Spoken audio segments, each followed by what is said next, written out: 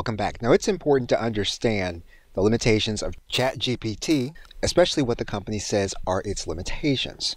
The most important element is going to be the very first limitation, and you're going to see this here as of the recording of this video. You'll notice that it says that ChatGPT writes plausible sounding but incorrect and nonsensical answers. And that for what ChatGPT does, this is not something that the model itself will be able to fix. And so you'll need to be aware of that when you use information that you get from the actual chatbot.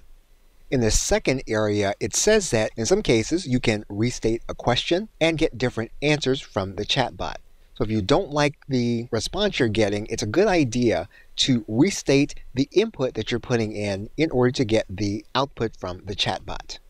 The third bullet point openly states that the Open Chatbot can use more words than it should and in some cases will overuse certain phrases. So this is something that you are going to want to be aware of.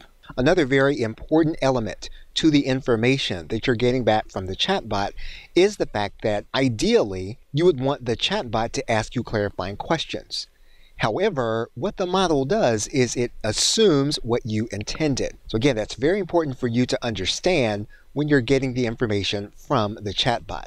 Lastly, chatbot will do what it can to refuse what it views to be inappropriate requests to the model.